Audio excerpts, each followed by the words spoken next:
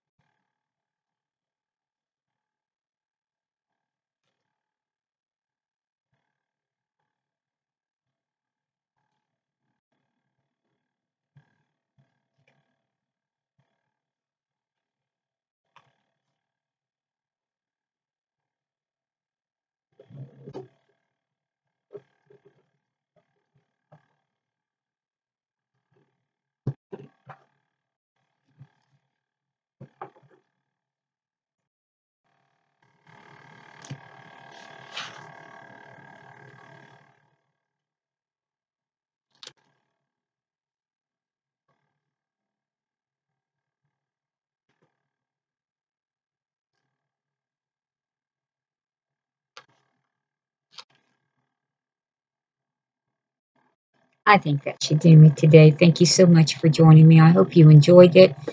Um, any of the details, look down in the description box, and I hopefully I will describe everything for you. Thank you so much. Bye now.